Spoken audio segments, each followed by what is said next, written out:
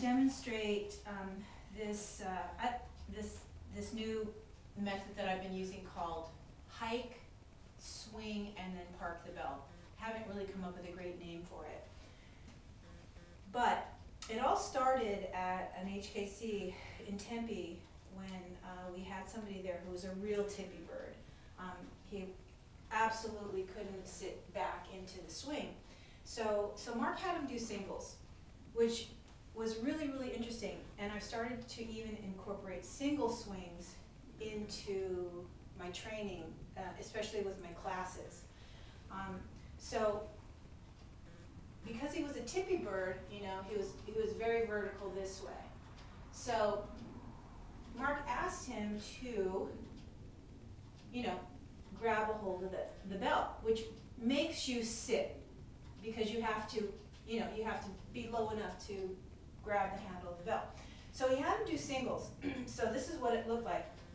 So of course, you know, he had to sit into the, the, the starting position, do one swing, and then of course you have to sit down again to put the bell down.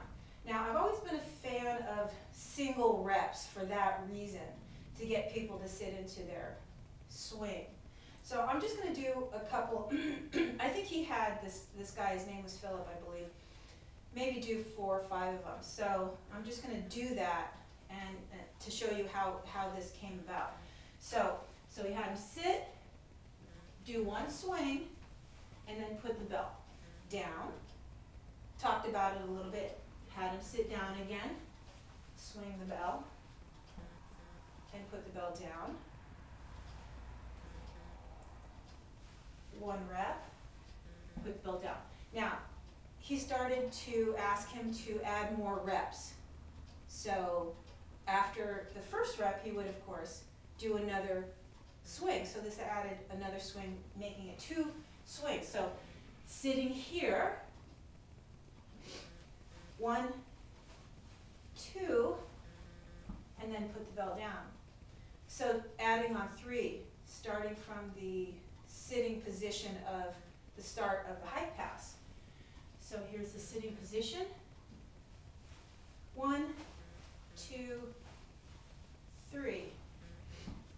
So anyway, that's how this whole thing started. Now, how I changed it slightly was that I've been teaching the swing obviously for a long time, but one of the things I've been focusing on for new students is reminding them that the swing happens here. The swing doesn't happen here. And I think that's where a lot of people get messed up. Um, that's why you see a lot of people learning try to do it a front raise. So I, I like to spend a lot of time back here.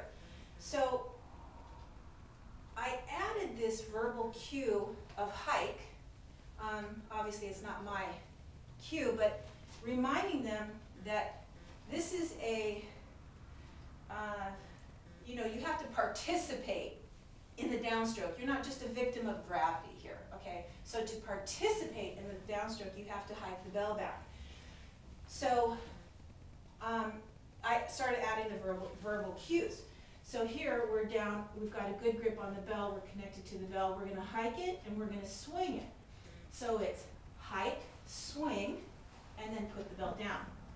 Now, most people forget to keep hiking the bell back. So I, I verbally cue them to hike every single time. So uh, this is what it looks like here. So you've got, a, you've got the bell in front of you, your, your hips are loaded, you're ready to go.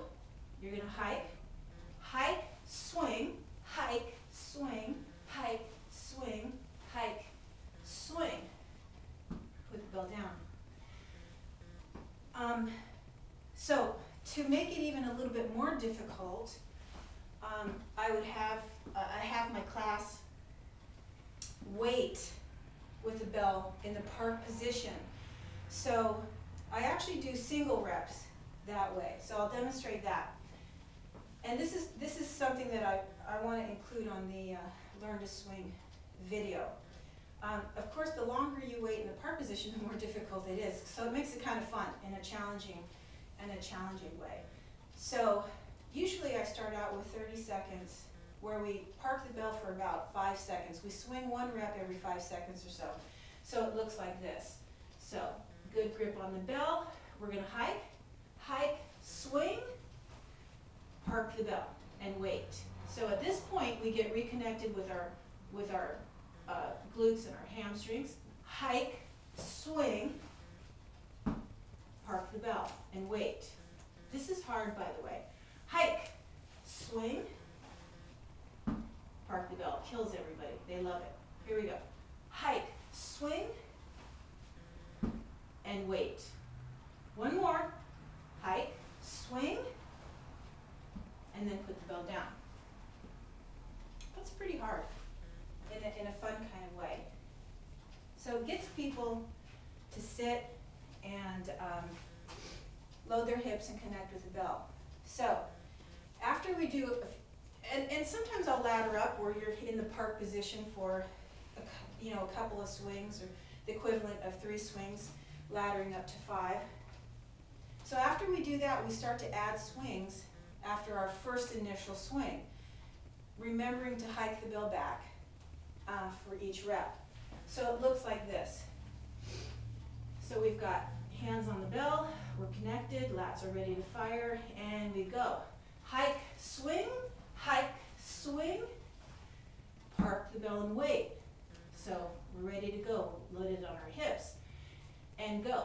Hike, swing, hike, swing. Park the bell. So let's go up to three swings.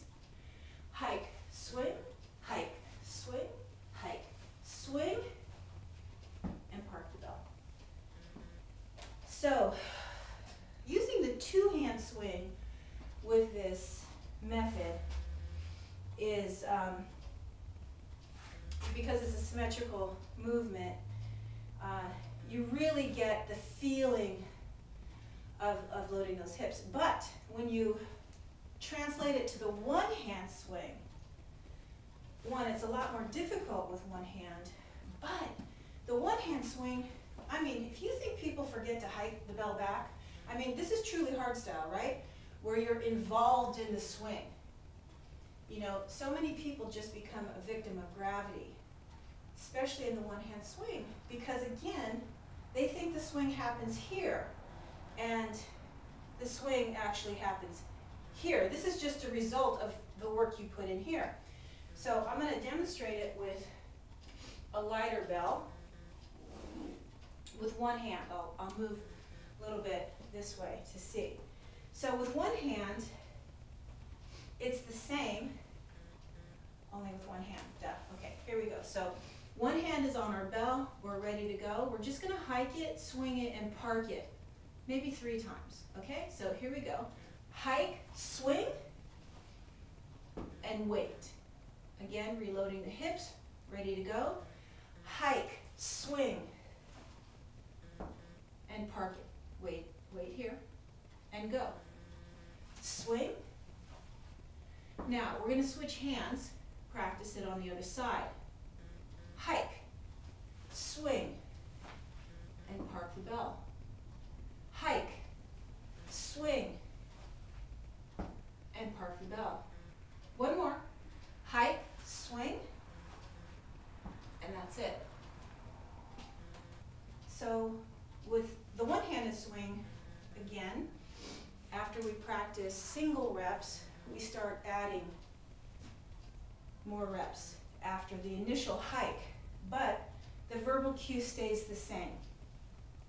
Now, um, and the verbal cueing is really important with, uh, with students, I believe. If you're, you know, a certified instructor, you should be already cueing yourself in your head. Um, so we're going to do, just as the swing ladder, I'm just going to demonstrate it up to three. So we're not going to switch hands until I'm done with the ladder on one side. So it goes like this. Hike, swing, and park the bell. Reload the hips, reconnect, ready to go. Hike, swing, hike, swing, park the bell. Last time, three swings. Hike, swing, hike, swing, hike, swing. Now we're going to switch hands. Other side, one swing, one hike, one park. Hike, swing, park the bell, and wait here. Two swings now. Hike, swing, hike, swing. Park the bell. Last time, three swings. Hike, swing, hike, swing, hike, swing, and park the bell. Man, that's hard. In a good way. So, the last thing I want to demonstrate is how this applies to the snatch. When I did the RKC in February, when I restarted, um, the 14 wasn't available yet. And I write about this on my blog how the 12 is really not that challenging for me. And the 16, there's just no way I could do the whole weekend with the 16. So I had to use the 12. I really, really got a lot of practice with hardstyle swings and snatches at the CERT last year because I had to make those reps as hard as I could. That's what I was there for. I was there to, to learn and to train. So lucky me, I got reconnected with true hardstyle, which means, again, that the work has to be done here in the hips. Um, this stuff is just a result of, of the work that we put in here.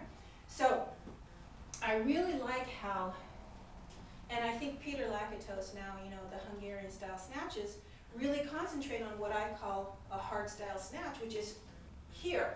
You're throwing the bell behind you. That's another uh, uh, analogy.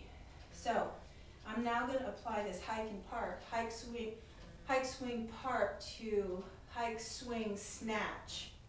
Um, so this could help a lot of people. I know it helps a lot of my students with their snatch. Again, they forget about this part. So it looks like this. So again, here's our park position, right? We're gonna hike. We're gonna swing it first before we snatch. So it looks like this. We're gonna hike, swing, hike, snatch. Then we're gonna park the bell. I think the swing is really important in setting up the snatch. So again, hike, swing, hike, snatch. I'm gonna switch hands. So, again, this side, same thing. Hike, swing, hike, snatch. Park and wait. Go. Hike, swing, hike, snatch. One last thing. Um, multiple snatches. After the hike, and there's all kinds of stuff you could play around with. In class, you know, um, I play with staying in the park position long time. Um, uh, one hand, two hand snatch, uh, hike in parks. So, so last thing I'll demonstrate, I'm just gonna snatch maybe three times on one side, cueing the hike every single snatch. So it looks like this. One hand on the bell, hips are loaded. We're gonna hike it back every single time. We're gonna start with a swing. Hike, swing, hike, snatch. Hike, snatch. Hike, snatch. We're gonna park our bell. We're gonna switch hands.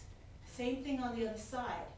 We're gonna hike, snatch. Whoops, I forgot the swing. You get it though. Hike, snatch, hike, snatch. All right. I've already done my workout today, so I'm just trying to, you know, get this on tape, get it to you, see what you think. I'd like to include a variation of teaching this in Learn to Swing video that Mark and I are scheduled to do next month. And um, that video is going to include two workouts that use the drills that we use to teach learning the swing to, for an actual workout, and that's something that I wanted to use. So I just wanted to get your opinion on that. I don't know if anybody else is using a method like that, but I've been playing around with it a lot, and it's it, it applies to learning a hard style swing and snatch as well as training. So um, there you go, there it is.